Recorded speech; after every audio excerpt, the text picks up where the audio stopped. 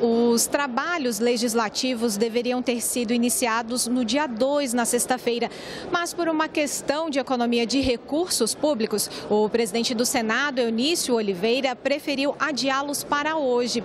Isso porque a Constituição prevê que essa sessão seja dedicada exclusivamente à solenidade de abertura dos trabalhos legislativos. Eunício Oliveira avaliou que o gasto de deslocamento de deputados e senadores para Brasília apenas na sexta-feira não se justificava. Por isso, preferiu deixar a sessão de abertura para hoje. Desta maneira, amanhã, terça-feira, dia tradicional de reuniões de comissões e também de votações, deputados e senadores estarão liberados pela Constituição para retomarem as votações. Lembrando que há medidas provisórias já trancando a pauta das duas casas.